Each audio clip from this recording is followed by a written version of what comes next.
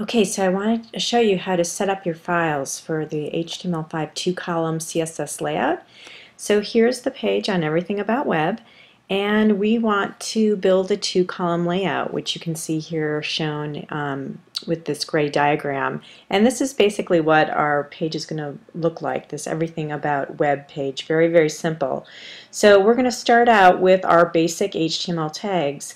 So to set up the files, the first thing that you want to do is um, go to your desktop and you're going to create a folder and we're going to call it HTML5 website. And inside of this folder, we're going to have our final web folder and a source file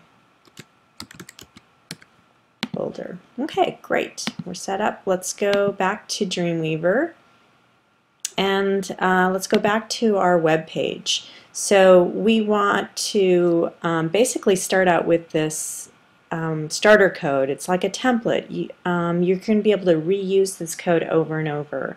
So I'm going to toggle over to um, plain code here. And I'm going to select everything and copy it and go back to Dreamweaver and uh, I'm going to pick a open up a new HTML file with no layout.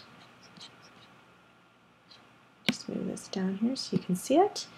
And I'm going to delete what's there and paste my starter code. So if I toggle over to code, we'll see that uh, this is my starter code that I'm going to be using. I'm going to go ahead and save this.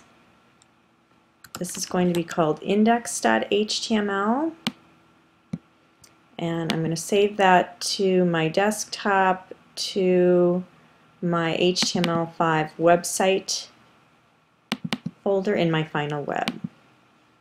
Fantastic. Okay, so now if we go back to um, our Everything About Web page, notice that we have two CSS files. One is a reset and the other one is a style. So let's go ahead and create those. So I'm going to copy from the reset.css, go back to Dreamweaver. Um, now I'm going to actually um, open up a new CSS file to create and I can actually leave that in there. I'm going to paste that and this is we're going to call reset .css. Now this is going to go in our final web folder, but we're going to create a CSS folder for this. So I've created the CSS, I've named it reset.css, and I'm going to go ahead and save that.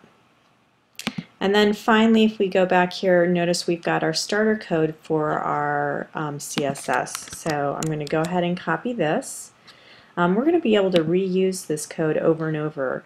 Um, you obviously wouldn't need to um, build a um, page from scratch if you're building the same layout over and over. So this is just some starter code uh, that we can use as a template. Oh, let me delete that extra. And this is going to be called style.css and that also gets saved in my CSS folder.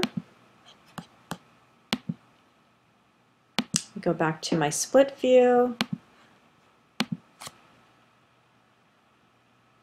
Fantastic. So now I've got my reset um, CSS and my style.css and my index page all ready to go. So just to give you an idea of um, what this will look like, let me just hide some of these things. And there we go. In our final web folder, we've got our two CSS files and our index page all ready to go.